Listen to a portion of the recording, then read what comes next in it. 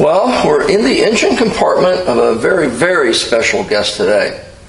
Um, 1963 Dodge Max Wedge. This thing is a real deal. It's not something that's been moused around with. It's not something that's been played with. Uh, it's in its original state, and we're going to go over everything on it and show it to you. Uh, underneath the hood, which, by the way, when we say hood, Mopar cut these out just to save weight, so there's no bracing through the center, but also you could install from them uh, a scoop. It had like two separate scoops. Actually, it was one scoop, but it had a narrow area in the center and two wider open areas on the end. But you couldn't install that on here for a ram air effect and, and uh, lose the air cleaners. And then they offered velocity stacks with screens in them that would mate up to the uh, hood area for a uh, ram air cold air effect supposedly gave you another 5 6 horsepower on top of a substantial 215 or 215 415 already. This particular motor is the um, uh, low compression motor according to chrysler at that point in time. It's an 11 and a half to 1 motor. Uh, the high compression race only was 13 and a half to 1 squeeze which was a lot of compression. There are very few cars out there today that run that compression.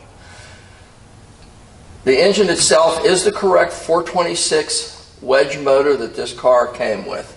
Uh, it doesn't appear to have ever been repainted. The uh, uh, decals on the uh, valve pan covers are faded and, and worn, but they're there, and they are the original covers. These are the original air cleaners that came with it. Can't see them, but underneath here is a pair um, stagger mounted of uh, Carter AFB carburetors. They flowed right around 550 uh, cubic feet per minute air volume pretty substantial air volume for this little guy to take. If you want to call 426 cubic inches little. The exhaust manifolds are the correct casting, cast iron exhaust manifolds. Um, very rare items to find. And when you see the undercarriage, you'll see they have a set of dumps that was standard equipment with these vehicles. These vehicles were a race vehicle. They were manufactured by Chrysler to compete in sanctioned drag racing. And that's what they did, and they did it very, very well. They were king of the hill for quite a few years when they released this. Correct style, radiator that came with it, the correct style hoses. Uh, everything on this vehicle is as it was from Mopar in 1963. Inner fender panels are uh, uh, the same color as the car. They don't appear to have ever been molested or touched in any way. Does have the original fender tag still intact here on the top of the left front fender new battery with a shutoff for you so that you can, when you're not using this, it's not going to be a daily usage car for sure. but you can uh, shut the battery off without just disconnecting it physically. Original horn still intact on it. The original decal still on top of the uh, radiator core support, which still retains its numbers and it's no-hit body. It still is the original radiator core support. Uh, does have the original heater hoses still hooked up also. Uh, so the early cars, the heater hoses went over onto the driver's side, looped around, and went into the uh, firewall. Later cars, they went into the uh, passenger side. Um, it does have the original seven blade steel fan. It's not a flex fan. It's the uh, it's a steel fan that uh, Mopar used on these vehicles. Single stage master cylinder. That's what they used back in 1963. Uh, certainly not a safety item uh, concern. It somehow managed to stop itself for pretty close to 60 years now, but um, it does have the original single stage as opposed to a dual stage master cylinder, which would be a lot safer. Has a set of high silicone plug wires, original Prestolite distributor cast iron housing, dual point distributor that these guys were released with the original style fuel lines, the way they loop around with the uh, uh, filters, one filter for each carburetor. Everything in this engine compartment shows itself originality. It's very, very difficult to find a car like this that has been unmolested, but there's one here. Again, uh, a race type motor that they managed to put into a regular production vehicle. What makes this one even more rare is the fact that it's a Polara 500. Most of these engines were ordered in a real light two-door post coupe to save weight. This guy doesn't. This thing is uh, in a uh, high end, at that point in time, the highest end car that Dodge did release. Again, if you look at this engine compartment, which Devin's going to give you some good high resolution videos or pictures of, in addition to a video, uh, you'll see that the engine appears to be completely original paint. There's a little bit missing on the one cylinder head here paint wise. It's chipped off and there's little chips on it here and there. It's not a perfectly painted show quality engine, but it retains originality and that's what's important with this guy. Very, very rare piece of equipment and we're going to show you the rest of it. Hi, you're at Hanksters in Daytona Beach, Florida, and today our really special guest, we have a 1963 Polara 500 Max Wedge car, cross ram, big exhaust manifolds, race engine for 1963. Nobody went around this guy in 1963. If it was a 409 Chevy, it was back there. If it was a Ford, it was back there. This guy was out front. There was no question about it. You can check the records, you'll see that nothing uh, uh, really went past a Max Wedge for quite a few years. They opened them up, came up with them in uh, 1962 as a 413, only year they made a 413 in a Max Wedge. And in 63, they came out with the Stage 2 and Stage 3, which is what this guy is. Um, very rare car. And it's an original car. The paint on this car is original. Not a repaint, not touched up, this car has originality, and we're going to go over it and show it all to you, and then explain things to you at the very end. You can see that the hood fitment is just as sweet and nice as you'd ever want it to be. For 1963, it's amazing that this car has this kind of originality. Paint worn off on the edges here from working on the car, leaning over it through the years. Worn off on the hood on the edge here. Cleaned down to the uh, bare metal that as long as we keep it waxed, it's not going to rust. No dents or deviations or, or warpage whatsoever in the hood anywhere. All original paint. Uh, paint mark here where someone has made an attempt to brush touch a uh, stone chip. The original Chrysler uh, um, Dodge emblem on the very nose of it here. Same thing here, some paint worn. Paint worn over here. Fitment of the hood to the uh, driver's side fender, the same as the other one, and up to the collar. You can just see that it is just so well fitted for 1963. It's just totally amazing. Uh, a little bit of a, you could polish things out to chrome if you wanted to. My suggestion is you leave them alone because that's originality. That's the way it came. Anodization on the grill is all really, really nice. Some light scratches you can see from, again, through the years working on this guy. Changing plugs, tuning the carburetors. Uh, but the grill itself doesn't have any dents or marks whatsoever in it other than these light scratches, which you're not even going to see in this video, but I'm telling you they're there. Uh, again, the same thing. You could polish this uh, aluminum bezel out, but it wouldn't be original. Filler panel, unpainted, silver, just the way it was in 1963. Uh, bumper fitment is really, really nice on both sides. The fit is really nice uh, vertically and laterally, both. A little dingy in the bumper right here. I don't know what happened there. Maybe Dad's crowbar fell against it or something, but there's a very, very slight ding uh, in the chrome there. Bumper guards in the front, that was an option. Chrome on the front of the bumper, really nice 1963 plate on the front. Uh, the bumper chrome itself, there's uh, again, through the years, just from usage, I'm sure at some point somebody put their foot up here. You could see some light, light scratches in the chrome. The chrome itself is not worn out. It does, however, have some original type scratches through the years for some reason. Uh, again, you can look at the fitment of this thing. It's just absolutely exemplary. Uh, the hood fits just as it should. It's never been bumped. Uh, the bumper fits as, a, as it should in 1963. Bumperettes in the front. Anodized grill as nice as you'd ever want to find. Again, there's some wear on this vehicle, and I'm pointing out everything that I can see, and some of it you'll be able to see. Paint is original on this car. No one painted this car. Couple brush touches here, probably from a belt buckle through the years, changing the plugs on this side. Kind of hard to get to with those Ram exhaust manifolds. Um, front end of this car is just as nice as you'd ever want to find. 1963. Uh, Real iconic car for Dodge. Let's do the driver's side, see what we can show you there. Driver's side. paint on this car is so nice for being original. It's really, look, original tin everywhere. You'll see when we do the undercarriage, there is no rust, absolutely no deterioration on this vehicle anywhere. I keep getting off track here. I got to concentrate on the uh, aesthetics on the outside here. The trim is just as sweet as can be, and there's no marks where anybody's painted it, anybody's uh, done any touch-up that I can tell. It's just as nice an original paint job as you can find. Fender lip molding, believe it or not, there are no dings in that.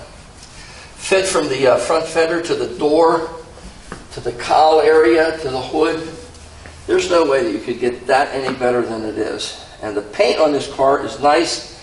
Uh, again, I, there's a brush touch here, a little brush touch here. I don't feel anything there. Some stone chips down along the bottom here I can feel. Split post Mopar mirror. Look on eBay, see what those cost to find these split post of Mopar mirrors that are original yet. Original wiper arms, and I'm going to call them original blades. I think they are the original blades for the car too. Trim around the front window, really nice. No dents, absolutely nothing. Tinted windshield. This car has tinted glass from what I can see all around. It's tinted everywhere.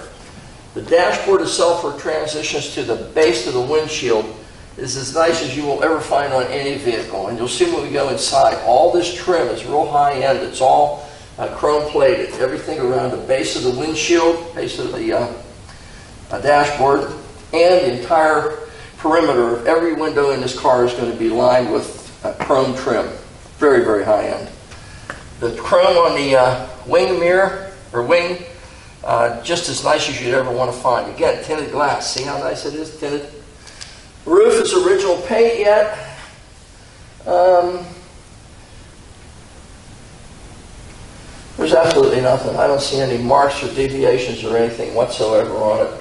Kind of a weird drip rail they used back then. Instead of uh, just on the very edge, they transitioned it up onto the roof and left a little bit of a gap here, about an eighth of an inch all around, so the water could run in there and then run out. Kind of a neat setup. Never really noticed that before, but really high end the way it transitions off of this and goes the whole way around. Window fitment. Find me one better than that one. Where? Top of the door, right on the edge. Having your arm out through the window. No air in these cars. Never were offered with air conditioning, or power steering, or power brakes either. Again, this uh, trim down the side is just as nice as you'd ever, ever want to find. Original door handle also. a Little tiny bit of, again, light scratching on the chrome from usage through the years. Wear on the edge, brush touch, brush touch. Another brush touch. Look at the fit though. Totally, totally amazing. You can't see them, but I can feel some brush touches. Like there's one here, one here, one here, one here, one here. Again, through the years, there, there aren't dents in this car. Those are just brush touches on the paint that I'm pointing out. Back window, the same way. The fitment is just as nice as can be. Has its original molding on it yet. All its original seals, uh, window seals. You can see it's starting to get some age to it. Uh, it's starting to come apart in a couple places. It's, it's starting to fray. We're leaving it alone. Original window wipes. Never been replaced. A little bit of wear, but you'd never want to replace those guys. It's originality. Okay, door to the quarter panel.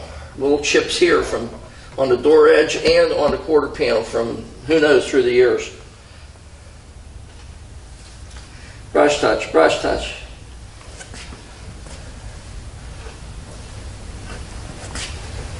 Huh.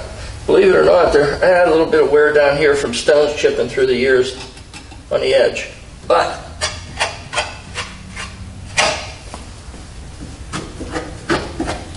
this is all tin.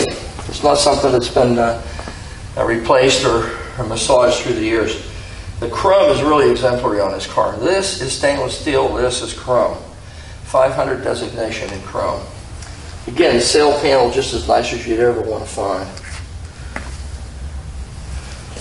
Quarter panel just as nice and straight, brush touch, brush touch.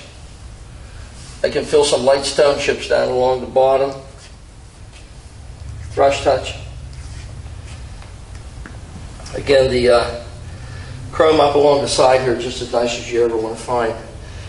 This would be impossible to, to find if you were restoring one of these cars. To find trim in this condition that lines up this way. It's just beautiful the way that everything lines up, the real high end uh, look of this vehicle with all this chrome added to it. Paint worn off the edge the whole way from here to here. Hanging over the trunk through the years, trying to get mom's groceries out. Who knows? Brush touch. Uh, again, originality.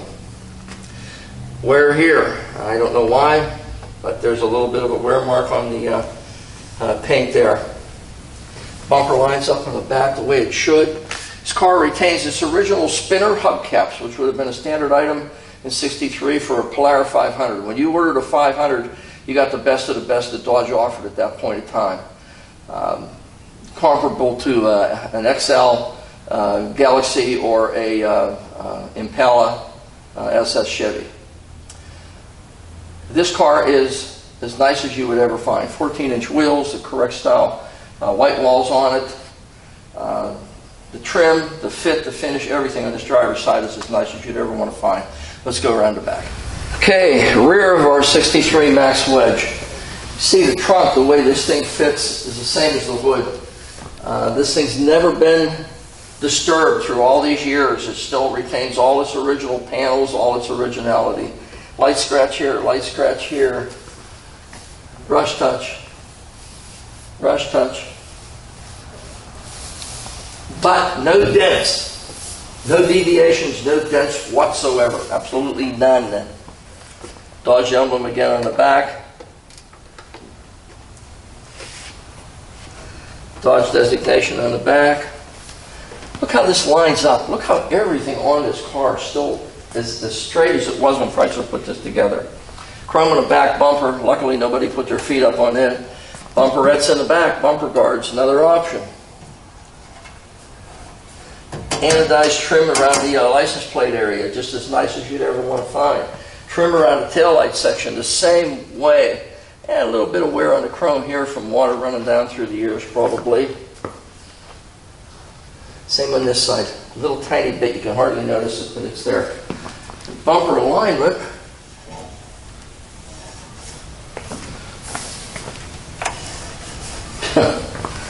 that is spot on.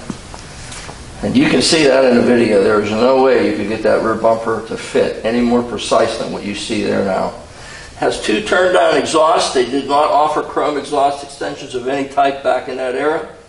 These guys were turn downs before the uh, uh, rear bumper, and that's the way they came. Back end of this car is the same as the sides and the front. A few little imperfections in the paint. Alignment is just as nice as you'd want to find. We got one more side. Okay, passenger side, our last side. And look how the fit on this thing is. It's just totally amazing. This is chrome. This is stainless. I believe it's stainless anyway. That's what it looks like, polished stainless. Um, this trim is just exemplary. Again, all tin. Couple brush touches here. Again, from being scraped up over. Worn on the edge here, hanging in the trunk, getting mom's groceries out. Brush touch, brush touch. Stone chips on the back here through the years. Amazingly, I haven't found a dent in uh, this wheel lip molding yet. It's just totally amazing all those years and nobody threw a car door open on it. That's okay. If it's in the Walmart parking lot, you buy the car next week, guaranteed somebody will throw a door open on it. Um, brush touch here. Must have been a little bit of a scratch. There is, let me look here. You can't see it, and I can hardly see it. I can feel it, but I really can't tell you it's there, but it is. There's a little tiny bit of a crease here. Uh, I don't even know.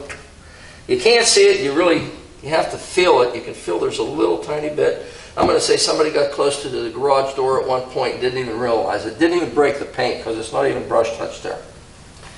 Trim around this back window, which I neglected to mention on the other side, is just absolutely flawless.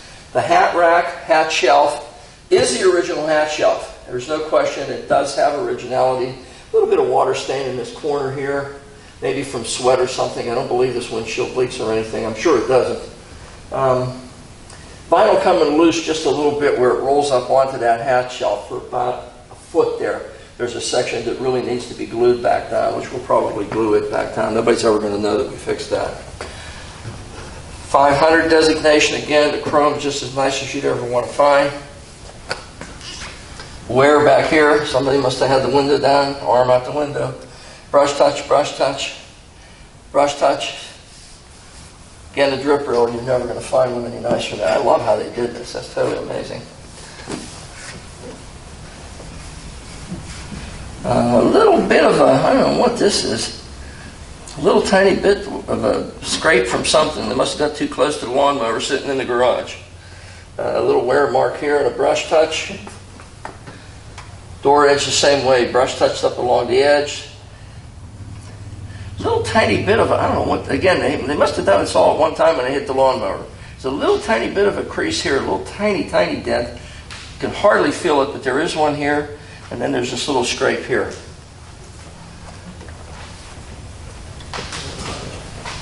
Wear from uh, arm again out the window.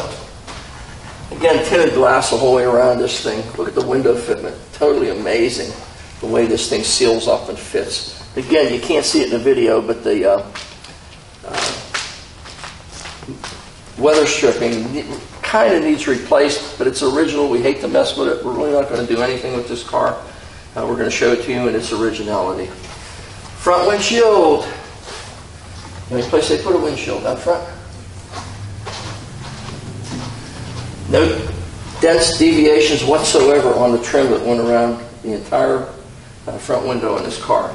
Matching mirror, right-hand mirror matching. How about that for 1963? And it is the split post uh, mirror that uh, Chrysler offered. Fitment, quarter panel to the door. Look at that. Just totally, totally amazing. Wear mark worn through here at the paint. There's nothing you can do about it uh, brush touch.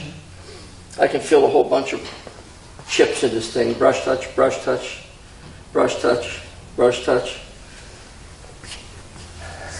brush touch, brush touch. Pentastar, way back when yet. Original equipment antenna. One more little left. Let's see if we got a dent in that. Little one right here. Little tiny one. I knew I had to find one somewhere. And we're back where we started. Polara designation on the front. A little bit of wear on the sides here from hanging in, changing plugs. 63 Max Wedge. Um, and we just showed it to you, picked out every little defect that I could find. Uh, this car is original paint. Uh, it's never been molested. It's never been bumped anywhere. It's not had any panels replaced on it. What you see is a 63 Chrysler Max Wedge in its original state.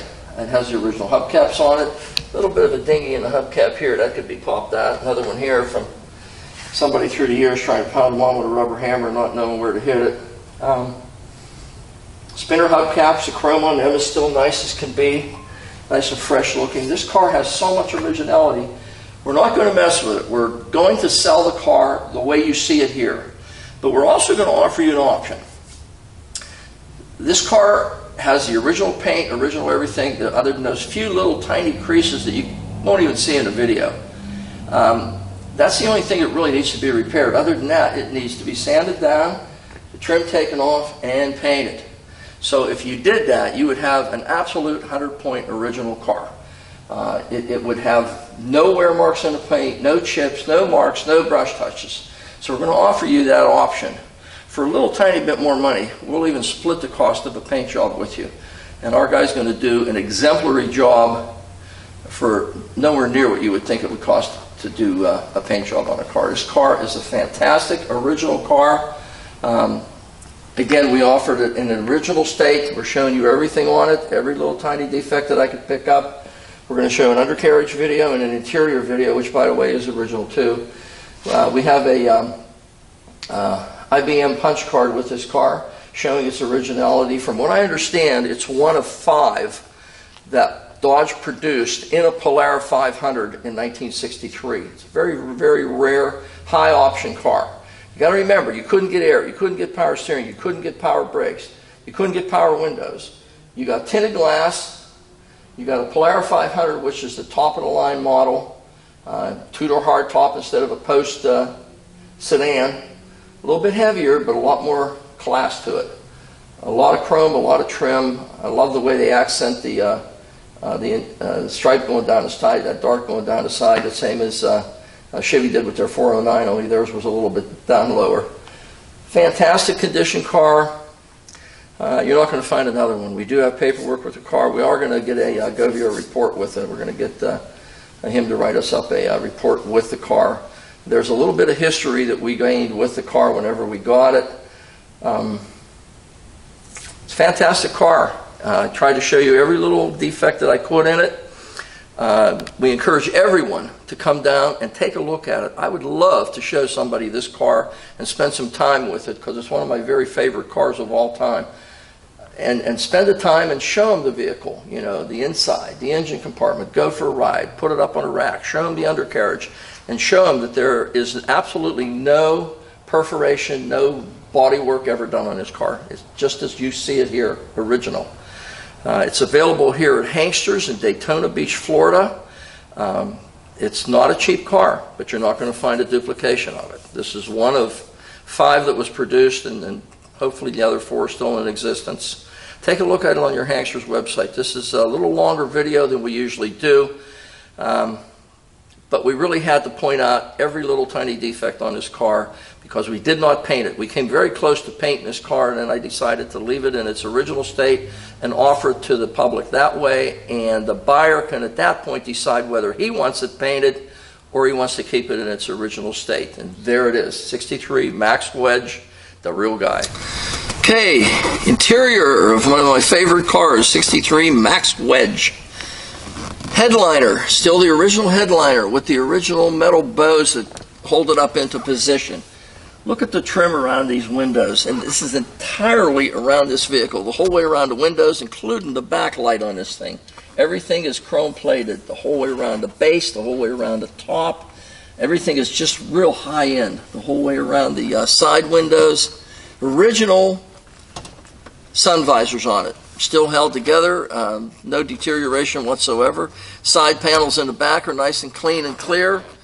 The uh, hat rack, which I mentioned, is original and nice as could possibly be. Um, the interior in this car is just exemplary. The uh, armrests are still original, they're not replaced.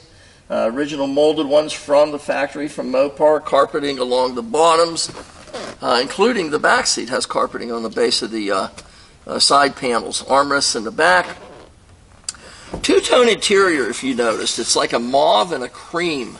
A beautiful color combination. It really accentuates the outside of this vehicle when you open the doors. It, it really just, with this two-tone interior, and everything is two-tone, even the steering wheel, cream on top and like a mauve color on the bottom. Horn ring just as nice as you'd ever want to find. All the chrome is still nice and intact on it. Top of the steering wheel is cracked. Um, you could fix it, again, just the same as the brush touches outside, but we're leaving it alone because of the originality. Nothing has been modified in this car, nothing has been repaired in this car. It's just the way it was when it left the factory in 63. Uh, little console with a uh, lid that opens. Trash tray, how about that? Um, back seat, there's no wear whatsoever. Carpeting has a little bit of fade to it, even has carpeting on the back of the seats. Uh, the window cranks, the door actuators uh, are just all as nice as they were in 63. The chrome is just exemplary on them. All your little Dodge emblems, everything is just as nice as you could ever expect it to be. I, this car is just a, a, an absolute diamond of a car. Day-night mirror in it. The dash is nice and clean and crisp. All the gauges are nice and clear. Uh, the uh, plastic on the uh, face of all the uh, gauges, which it does have full instrumentation, by the way. Punch button automatic. These things were such a neat thing. Choke, and it's written on here, choke. manual choke for this guy. Those carburetors, whenever they're cold, this engine's cold, you have to choke it some. Uh, it's an amazing car to drive. Uh, it has a lot of, um, obviously, a lot of pep.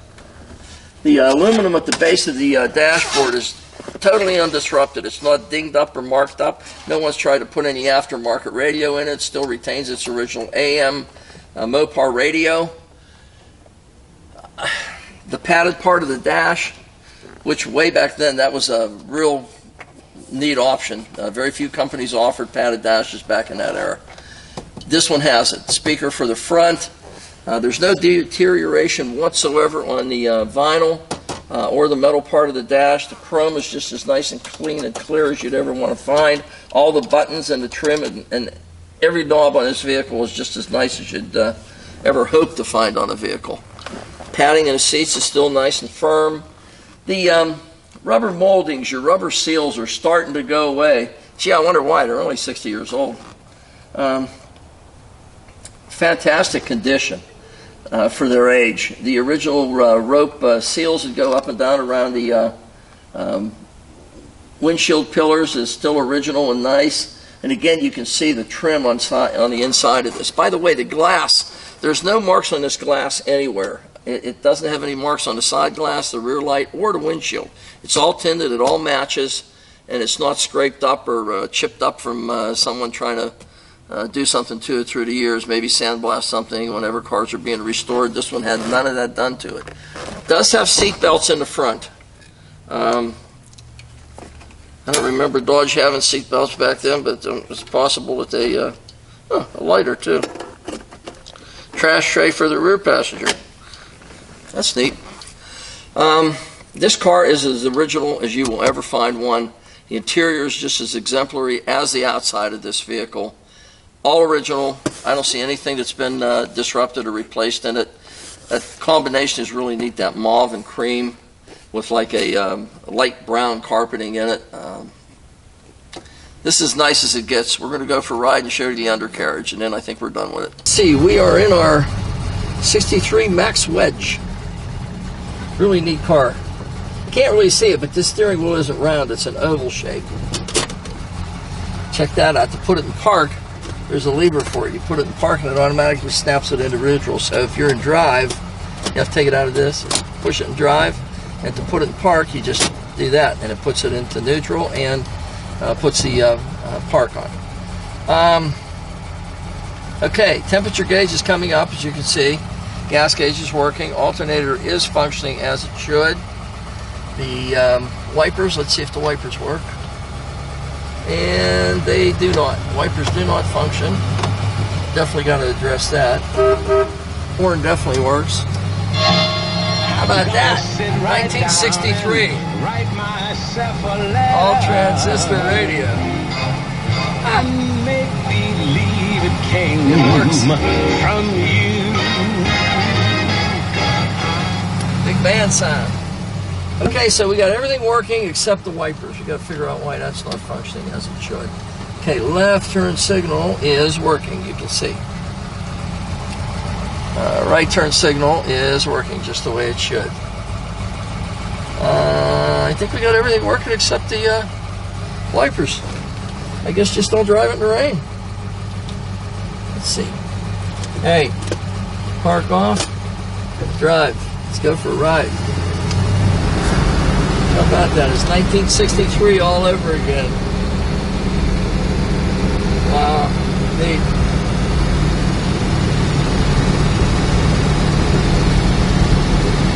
steering wheel off kilter a little bit. Could be that it feels like the left, well, it's going straight.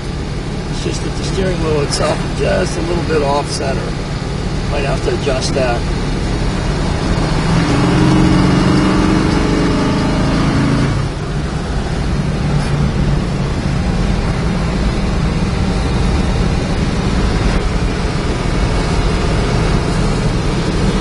Wow. Nice running car. Goes down the road straight. It, it runs good. It drives good.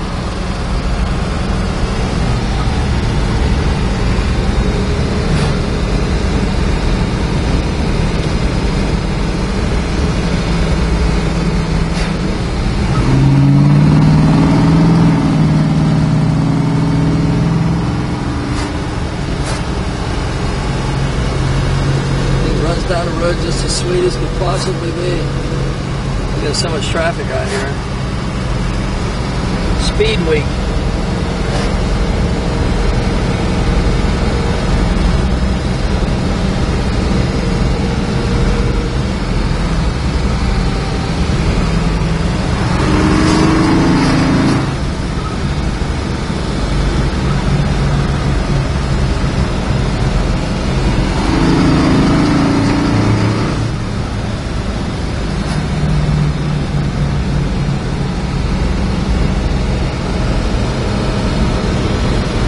We're underneath our 1963 Max Wedge 426 Dodge Polara 500. Really, really rare car. A very rare car.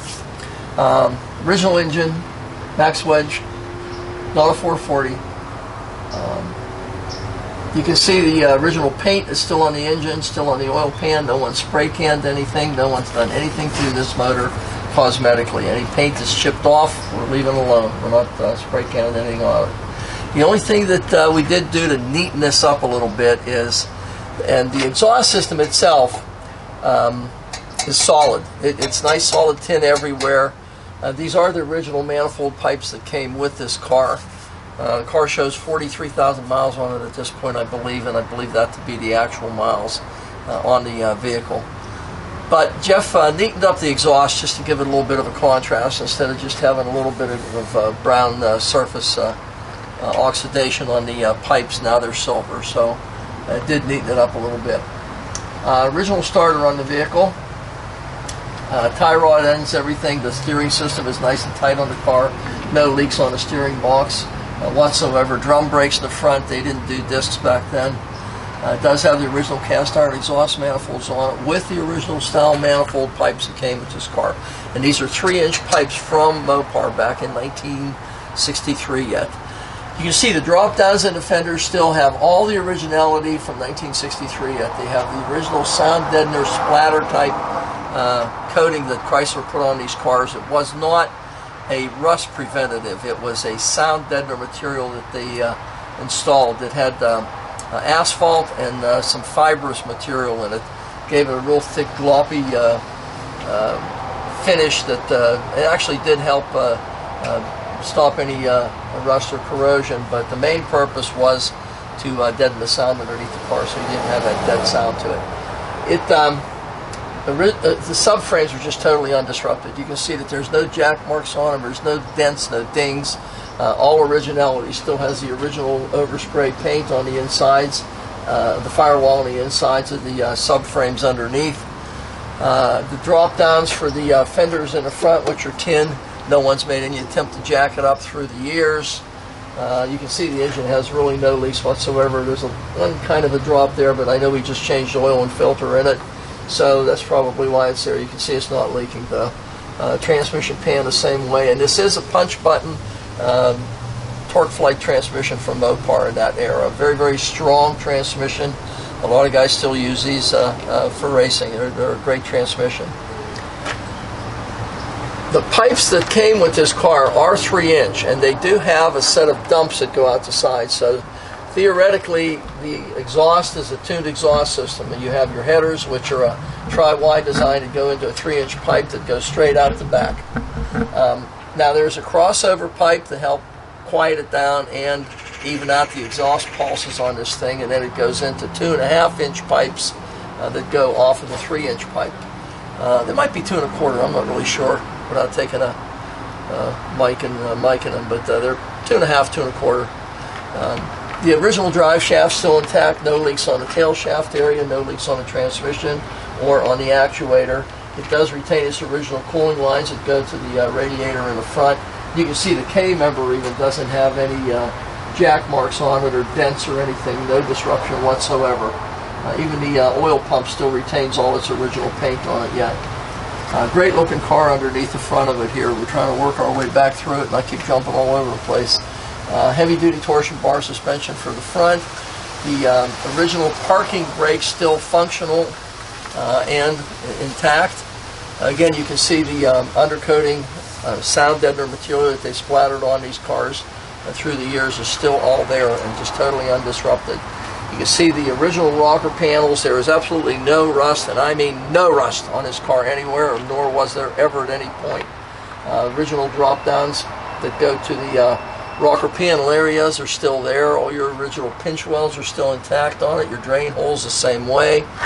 Uh, everything on this car, we're halfway back through it, and I mean absolutely everything is just the way it was in 1963 when this car was released by Chrysler.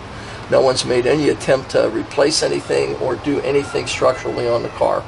Uh, it's an original car. It's a fantastic piece of history here. Other half. Okay, second half of our uh, Max Wedge Polara 500. Uh, original style uh, under chassis mufflers that would have been the original equipment on this car in 63. You can see the subframes in the back are just as the ones in the front, absolutely totally undisrupted. Um, could not find a nicer looking undercarriage in this. There's a little mark in the uh, undercoating here, the sound deadener material, but it doesn't appear to be dented. It just seems to be an indent in the uh, uh, sound deadener material itself. Uh, the exhaust pipes that go up over the uh, uh, rear differential, I'm going to call them, eh, let's call them two inch. I don't know why, it just looks at my, they might be two and an eighth, but we'll call them two inch. Eight and three quarter heavy duty Mopar rear end. These things are pretty much indestructible. Only thing you're going to find stronger is a 9 inch Ford or a Dana 9 and 3 quarter, which nobody has been ever, ever been able to break. Multi-leaf springs all stacked in the back just the way they should be. Seven on this side, six on that side. Torque bias uh, compensation. It does have a set of aftermarket air shocks in the back. I think the original shocks are still in the front. Let me look. Now they've been replaced, so there's new shocks in the front, but there are a set of uh, air shocks in the back to help compensate to uh, um, let you have the rear end lift or the stance on this vehicle that you uh, decide you want. Um, drum brakes in the back. Original gas tank still retains its original sound deadener material still on it. A little bit chipped off here, and you can see that the uh, tank is all original, original tin and everything. Your subframe sections that uh, transition toward the rear still have the original sound deadener on them the same way. The floor pans are totally undisrupted on this vehicle. The drop downs in the uh, quarter panels on this thing are absolutely 1963 undisrupted unmessed with. They got the little tabs on them yet. And uh, we'll get Devin to take some good high resolution pictures so that you can see the drop downs in the quarters and the floor pans in the uh, underneath of this vehicle, the total undercarriage, so that you can see the originality that this guy still retains from 1963.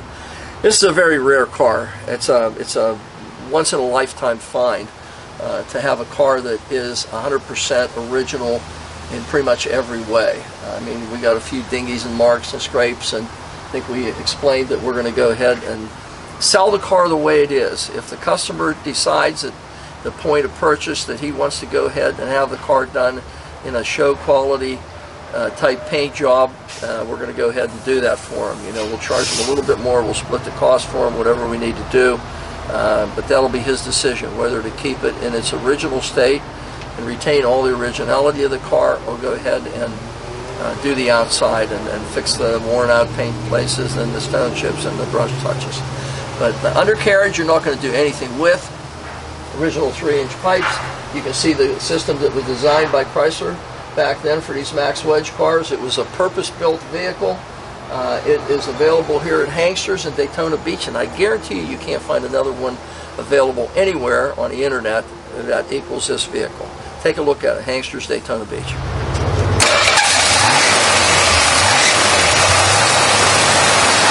you